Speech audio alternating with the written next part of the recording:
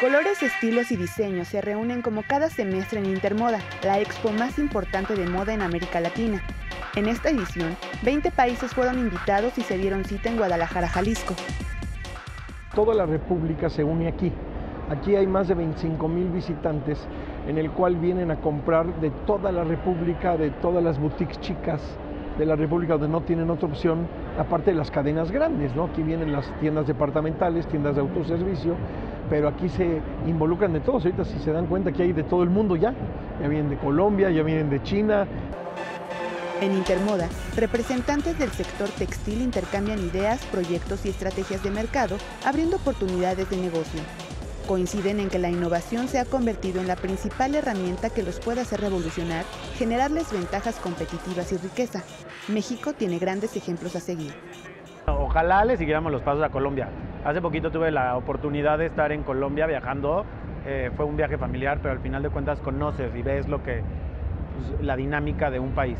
Entonces, lo que me pude dar cuenta es de que ellos tienen una cultura de la moda muy nacionalista y tienen marcas muy grandes, marcas con mucho impacto que la misma gente, los mismos ciudadanos colombianos lo consumen pero lo que te decía es que yo creo que nos parecemos un poco más a España, con modelos de negocios efervescentes, de diseñadores con propuestas efervescentes y marcas que se van consolidando.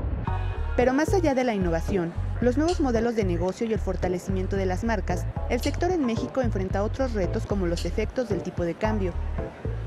El alza del dólar trae dos cosas. Uno, para el exportador ayuda mucho. ¿Por qué? Porque pues, el americano ahorita, que es el consumidor más grande del mundo, pues busca en México a los productores importantes. Hoy somos en mezclilla el productor más grande para Estados Unidos. En la laguna, en Torreón, se fabrican millones de mezclilla para Estados Unidos. Y hoy con esto del dólar, pues quieren más para la parte de exportación, para importar si hay un poco de afecto, porque eso nos lleva un poco a la inflación. Porque si importas la prenda en dólares, y se ha devaluado un 25%, afecta en el consumidor final.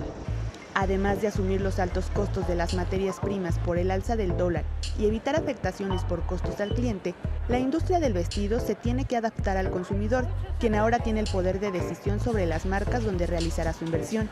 El mercado latino está marcando tendencia.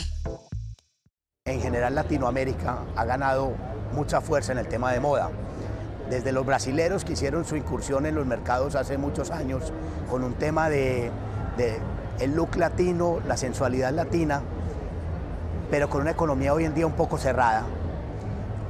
Entonces le ha dado oportunidades a países como México y a Colombia de dar su interpretación de lo que es la moda según, los, según Latinoamérica.